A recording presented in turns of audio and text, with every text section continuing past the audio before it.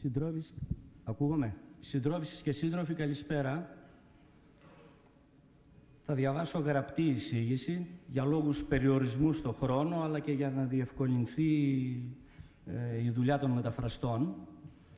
Επίσης, βέβαιος ότι στο υπόλοιπο του τριημέρου, αλλά και στη σημερινή συζήτηση από άλλους συντρόφους και συντρόφισσες από την Ευρώπη και τον κόσμο θα κατατεθούν στοιχεία και για την πολιτική κατάσταση και την οικονομική κατάσταση αλλά και την κατάσταση της αριστεράς και των κινημάτων. Θα προσπαθήσω να δώσω έμφαση ε, σε ζητήματα που θα μας βοηθήσουν να καταλήξουμε σε πολιτικά συμπεράσματα και κατευθύνσεις. Θα αναπτύξω την εισήγησή μου σε τέσσερα σημεία. Πρώτο σημείο, η καπιταλιστική κρίση. Μέσα από τις σελίδες της πιο πρόσφατης έκθεσης του Διεθνούς Νομισματικού Ταμείου για τις προοπτικές της παγκόσμιας οικονομίας αναδύεται μια τριπλή απειλή για το παγκόσμιο σύστημα. Η πρώτη απειλή είναι η μακροχρόνια χαμηλή ανάπτυξη. Η σταθεροποίηση τα χρόνια ύστερα από το 2009 αποδείχθηκε σχετική, αβέβαιη και κυρίως προσωρινή. Από τα μέσα του 2015 η ένταξη στον κύκλο της κρίσης των BRICS, ιδιαίτερα της Κίνας και της Βραζιλίας, επανέφεραν τους φόβους για μια νέα βήθηση της παγκόσμιας οικονομίας. Στις εκθέσεις διεθνών καπιταλιστικών οργανισμών, στις δηλώσεις και εκτιμήσεις ανθρώπων των αγορών, αλλά και στην αρθρογραφία ισχυρών διεθνών μίντια, ο κίνδυνος της καθήλωσης της παγκόσμιας οικονομίας σε μακροχρόνια χαμηλούς ρυθμούς ανάπτυξης στη δική μας γλώσσα θα λέγαμε με μεγαλύτερη ακρίβεια ανεμικούς, αναδεικνύεται με μελανά χρώματα. Η δεύτερη απειλή είναι το στρατηγικό αδιέξοδος στις φόρμουλες αντιμετώπισης της καπιταλιστικής κρίσης. Το μείγμα ακραία λιτότητα, ποσοτική χαλάρωση, δηλαδή μαζικό τύπομα χρήματος από τις κεντρικές τράπεζες και χαμηλά επιτόκια δεν στάθηκε ικανό να εξασφαλίσει τους όρους για μια δυναμική έξοδο από την κρίση αλλά και κάθε βήμα απομάκρυνσης από αυτό το μείγμα πολιτικής είτε δεν είναι επιθυμητό από το κεφάλαιο είτε δεν είναι εύκολη επιλογή. Για παράδειγμα, η Κεντρική Ομοσπονδιακή Τράπεζα των ΗΠΑ αναβάλει διαρκώς εδώ και σχεδόν ένα χρόνο το προαναγγελθέν τέλος των χαμηλών επιτοκίων διστάζοντας να αυξήσει τα αμερικανικά επιτόκια έστω και κατά ένα τέταρτο της εκατοστιαίας μονάδας. Τα προγράμματα ποσοτικής χαλάρωσης των κεντρικών τραπεζών έχουν εξαντλήσει τα όρια τους. Ήδη πολλοί αναλυτές του συστήματος προειδοποιούν ότι τυχόν περαιτέρω δυναμική επέκτασή τους και μάλιστα σε συνθήκες ανεμικής ανάπτυξης μπορεί να οδηγήσουν σε σκάσιμο κάποιες από τις πολλές φούσκες των χρηματοοικονομικών αγορών, οι οποίες μάλιστα βρίσκονται σε επίπεδα πολύ υψηλότερα, υψηλότερα ή και πολύ υψηλότερα από το 2008 όταν ξέσπασε η κρίση. Η ακραία και κλιμακούμενη λιτότητα επίσης έχει φτάσει σε κάποια όρια, πέρα από τα οποία γίνεται ανορθολογική επιλογή και για το ίδιο το σύστημα σε διάφορα επίπεδα. Η έκθεση του Δούνου του αναδίδει λοιπόν το άρωμα αυτού του στρατηγικού αδιεξόδου. Η τρίτη απειλή είναι καθαρά πολιτική. Είναι ο κίνδυνος να αποδυναμωθεί ή και να καταρρεύσει η παγκοσμιοποίηση όπως χαρακτηρίζεται από το Δούνου του, το οποίο θεωρεί αυτό τον κίνδυνο μέγιστη απειλή. Η απειλή αυτή έχει επίσης διπλή μορφή. Έχει τη μορφή του οικονομικού προστατευτισμού, αλλά και τη μορφή του πολιτικού προστατευτισμού.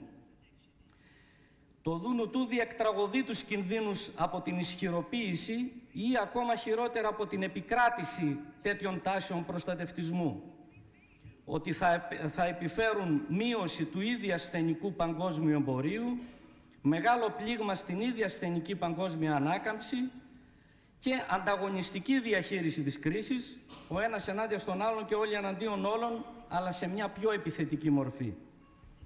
Αυτός ο τελευταίος κίνδυνος παραπέμπει σε κάθε είδους πολέμους, κυριολεκτικούς ή όχι, ψυχρούς ή θερμούς, χαμηλής ή υψηλής έντασης, νομισματικούς, εμπορικούς ή και πραγματικούς. Η Συρία και το Ιράκ, η Μέση Ανατολή γενικότερα, η Ουκρανία, η Άπο Ανατολή και ιδιαίτερα η Κινέζικη θάλασσα κλπ. είναι τέτοιες αιστείες θερμών ή ψυχρών που μπορούν να εξελιχθούν σε θερμές αναμετρήσεις. Το Δούνου του, μιλώντας στην ουσία για στρατηγικό αδιέξοδο, αποτολμά να κάνει για κάποιες προτάσεις. Προτείνει την αύξηση των κρατικών δαπανών στους τομείς της τεχνολογίας, της εκπαίδευσης και των υποδομών, σε συνδυασμό με την περαιτέρω απελευθέρωση της αγοράς εργασίας, δηλαδή την περαιτέρω διάλυση των εργασιακών κατακτήσεων, αλλά και τη μείωση της κοινωνικής ανισότητας, χωρίς περαιτέρω διευκρινήσεις. Διευκρινίζει ότι οι προτάσεις αυτές αφορούν τις χώρες που έχουν την ευχέρεια να τις υλοποιήσουν, απευθυνόμενος στην ουσία στις ισχυρές καπιταλιστικές δυνάμεις, πρώτα απ' όλα τις Ηνωμένες Πολιτείες και τη Γερμανία. Η πρότασή του είναι ένα υβρίδιο, ένα συνδυασμός πλευρών και ενσιανής πολιτικής με διατήρηση της λιτότητας και της διάλυσης των εργασιακών σχέσεων, ένα τερατόμορφο υβρίδιο Κέινς και Φρίντμαν. Η πρόταση του Δουνουτού σημαίνει αυτά πρέπει να τα κάνουν οι κυρίαρχοι της υπεριαλιστικής παγκοσμιοποίησης στο όνομά της και με στόχο να αποκριστεί ο κίνδυνος του προστατευτισμού. Ωστόσο, αν το διέξοδο είναι στρατηγικό, και πράγματι είναι, αυτή η συνταγή είναι πολύ ασθενική και πολύ θολή για να αποτελέσει ουσιαστική απάντηση. Δεύτερο σημείο, Ευρωπαϊκή Ένωση και η Ευρωζώνη. Η Ευρωπαϊκή Ένωση και η Ευρωζώνη λοιπόν αποτελούν κατεξοχήν παραδείγματα του στρατηγικού αδιεξόδου και της τριπλής απειλής που περιγράφει το Δούνου του για το παγκόσμιο σύστημα. Εδώ η ανάπτυξη είναι όχι μόνο ανεμική, αλλά είναι ανεμική και πολλές φορές στα πλαίσια της στασιμότητας, αλλά και εξαιρετικά ανισόμερη στις διαφορετικές χώρες, χωρίς να ξερούνται από αυτόν τον κανόνα ούτε οι πλέον ισχυρές καπιταλιστικές οικονομίες της Ευρωζώνης και της Ευρωπαϊκής Ένωσης. Από τα επίσημα στοιχεία της Eurostat προκύπτουν πολλά. Θα πω εντελώς κωδικά, γιατί είναι αποκαλυπτικά αν τα διαβάσει κανείς σε βάθος, τα εξής. Ο δείκτης του καθαρού ποσοστού κέρδους ανακάμπτει ασθενικά, αλλά βρίσκεται ακόμη πολύ πίσω από τα επίπεδα του 2008, από τα επίπεδα πρώτης κρίσης δηλαδή. Στη Γερμανία είναι σχεδόν 6 μονάδες κάτω, στη Γαλλία 18,4 μονάδες κάτω, στην Ιταλία 15,8 μονάδες κάτω από τα επίπεδα του 2008, διευκρινίζω. Έτσι. Το ακαθάριστο εγχώριο προϊόν, το ΑΕΠ, στο σύνολο της Ευρωζώνης και της ΕΕ είναι οριακά πάνω από τα επίπεδα του 2008, ουσιαστικά στα ίδια επίπεδα, δηλαδή σε 8 χρόνια καλύφθηκε μόνο η απώλεια του ΑΕΠ από τη μεγάλη βήθηση του 2009 και των επόμενων χρόνων, ε, ενώ η ανάπτυξη σε όλες τις χώρες περιλαμβανομένων και των μεγάλων χωρών είναι οριακή, ανεμική και καμιά φορά είμαστε στα όρια της στασιμότητας. Και κάποιες χώρες βεβαίως εξακολουθούν να είναι σε ύφεση, η Ελλάδα και όχι μόνο. Οι ακαθάριστες επενδύσεις παγιού κεφαλαίου αυξήθηκαν οριακά επίσης σε σχέση με τα επίπεδα του 2008 στην Ευρωπαϊκή Ένωση, μειώθηκαν στην Ευρωζώνη, αυξήθηκαν σημαντικά μόνο στη Γερμανία, κατά περίπου 21%, ενώ η αύξησή τους είναι οριακή έως ανύπαρκτη στη Γαλλία ε, και για την Ιταλία υπάρχει μια σημαντική μείωση 19% και μια θεαματική μείωση για την Ισπανία 28%. Η παραγωγικότητα έχει επίσης οριακή αύξηση ε, και στασιμότητα στην Ευρωζώνη και την Ευρωπαϊκή Ένωση. Κάπως μεγαλύτερη αύξηση για τη Γερμανία, είναι σχεδόν μηδενική για τη Γαλλία και αρνητική για την Ιταλία.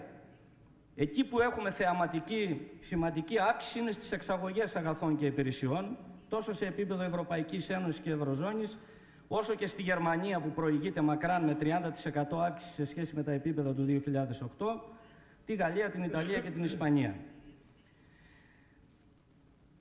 Μέσα στην κρίση που ξεκίνησε, υποτίθεται σαν κρίση χρέους, αλλά όλοι ξέρουμε ότι ξεκίνησε από το χρηματο... με αιχμή το χρηματοπιστωτικό τομέα, το ακαθάριστο δημόσιο το χρέος γνώρισε την πιο, ε, ανα... την πιο εντυπωσιακή αύξηση σε όλη την κλίμακα και σε επίπεδο Ευρωπαϊκής Ένωσης μεσοσταθμικά και σε επίπεδο Ευρωζώνης μεσοσταθμικά και στη Γερμανία πολύ λιγότερο, είναι το μικρότερο ποσοστό και στη Γαλλία και στην Ιταλία και στην Ισπανία.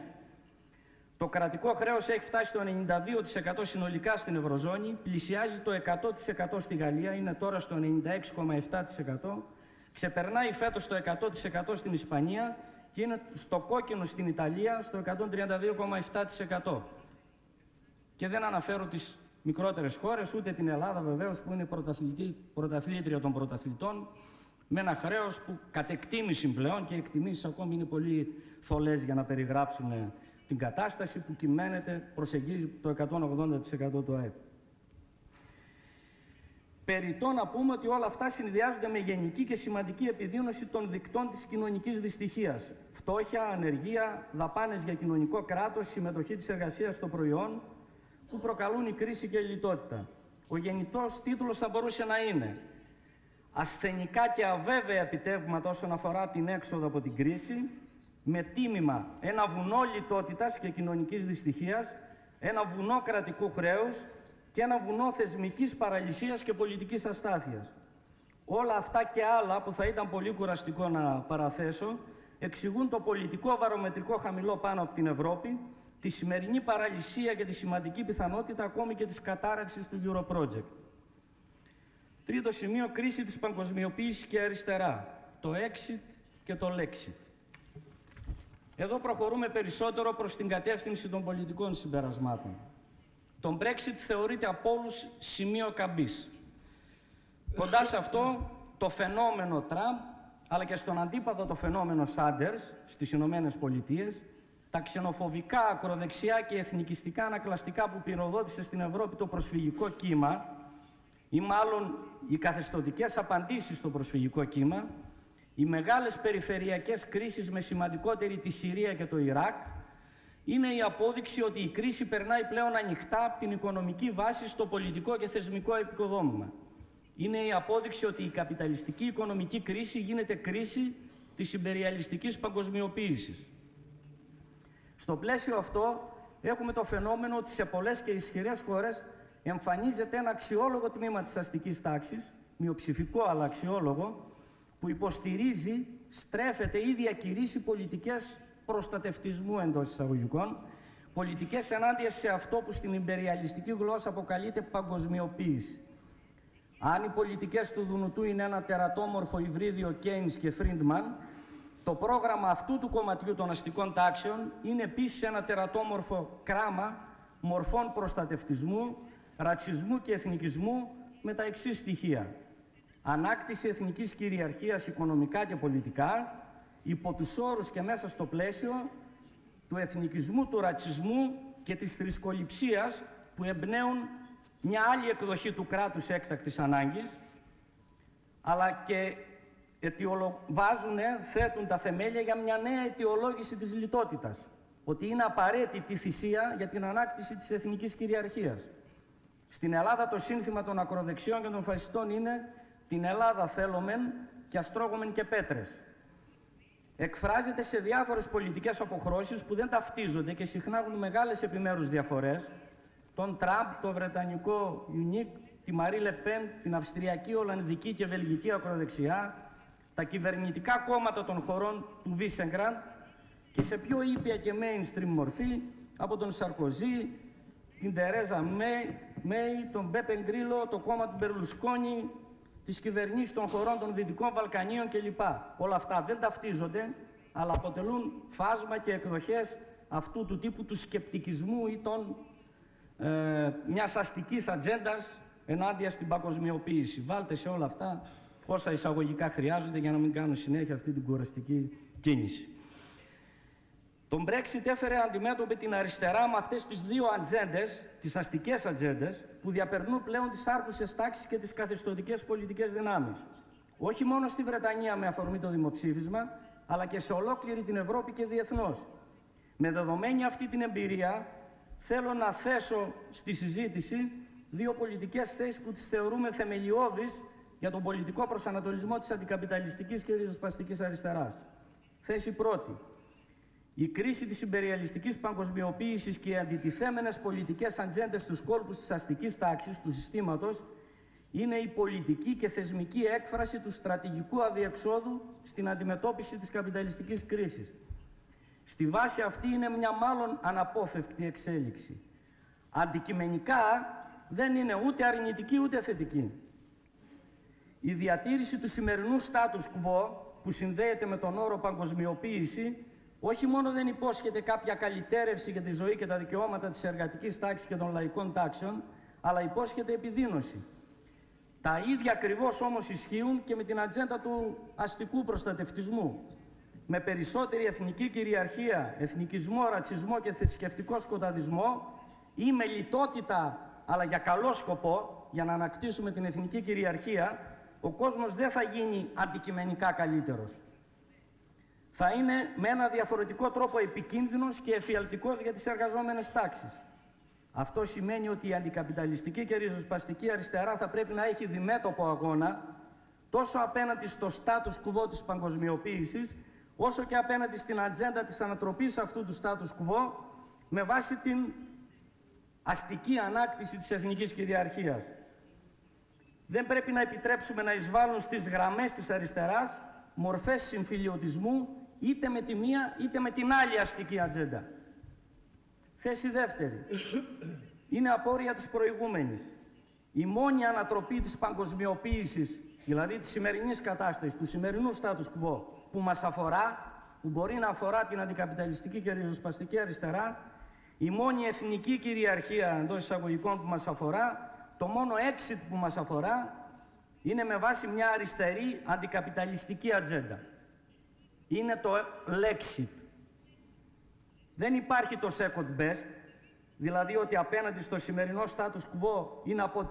είναι προτιμότερο ακόμη και ένα αντιδραστικό αστικό exit, ούτε όμως και το αντίθετο, ότι μπροστά στα αντιδραστικά χαρακτηριστικά αυτού του αστικού exit είναι προτιμότερο να υπερασπιστούμε το status quo.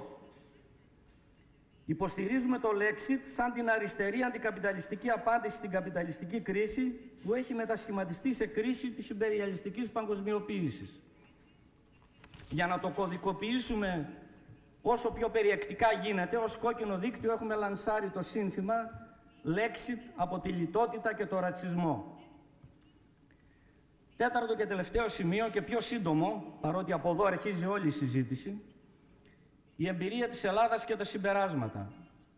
Είναι υποχρεωτικό να κωδικοποιήσουμε τρία βασικά συμπεράσματα από την ελληνική εμπειρία, της ανόδου αλλά και της ταπεινωτικής συνθηκολόγησης του ΣΥΡΙΖΑ, τα οποία σχετίζονται με την απόψινή μας συζήτηση αλλά και με τα αντικείμενα της συζήτησης όλου του τριημέρου.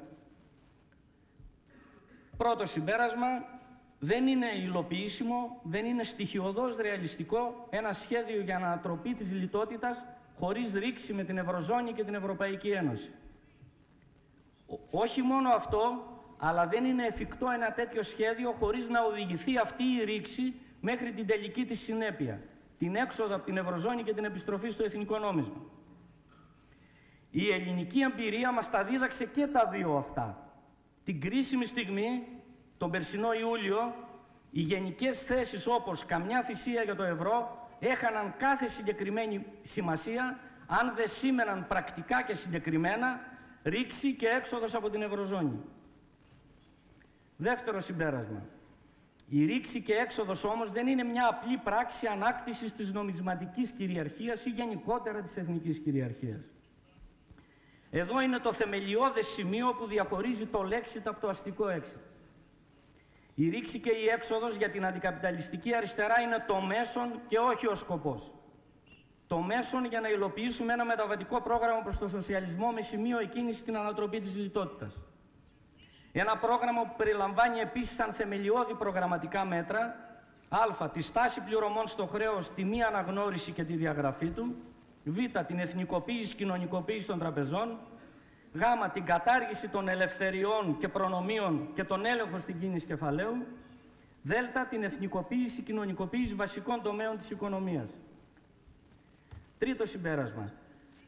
Τέλος, δεν μπορούμε να υλοποιήσουμε ένα τέτοιο πρόγραμμα χωρίς να παλέψουμε για την εξουσία. Η, όχι απλά για την κυβερνητική, αλλά για την, για την από ουσιαστική άποψη για την οικονομική και πολιτική εξουσία.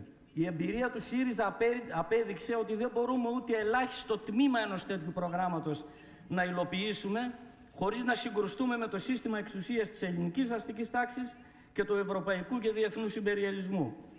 Χρειαζόμαστε λοιπόν επιγόντως μια ουσιαστική και πολύ απαιτητική συζήτηση για τους όρους και τις προϋποθέσεις μιας τέτοιας πάλης για την εξουσία σε χώρες που εντάσσονται στο με την ευρία έννοια δυτικό υπεριαλιστικό σύστημα. Είναι για αυτούς τους λόγους που εμείς υποστηρίζουμε ότι μπορεί η ρήξη με την Ευρωζώνη και η έξοδος να γίνει κάποια στιγμή πολιτική εχμή σε κάποια δεδομένη πολιτική συγκυρία, αλλά η απάντηση επί της ουσίας δεν είναι, δεν είναι νομισματική, είναι ταξική και διεθνιστική στο πλαίσιο ενός μεταβατικού προγράμματος για τον σοσιαλισμό. Σε ευχαριστώ.